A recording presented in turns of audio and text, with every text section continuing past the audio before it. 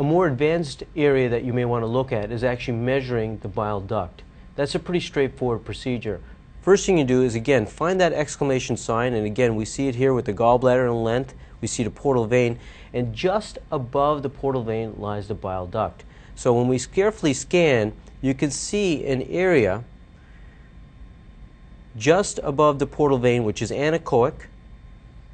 I'm going to freeze this here in a moment and you should be able to see a very tiny duct. If you're squinting at the screen like I am trying to see where the duct is, you're dealing with a patient with a normal duct. Usually when the duct is enlarged, it'll be quite evident and it'll be can be as large as the portal vein itself.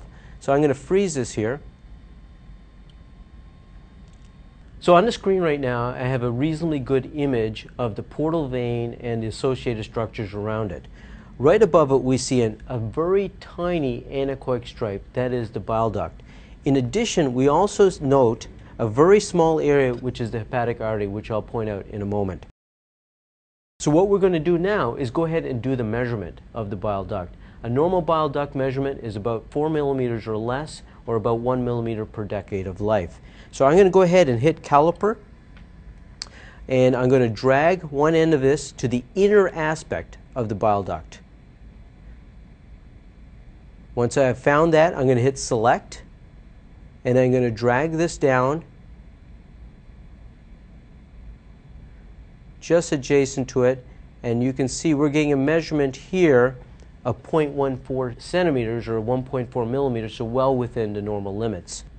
Okay, I'm going to illustrate to you where the hepatic artery is. We can see first this is the portal vein right here.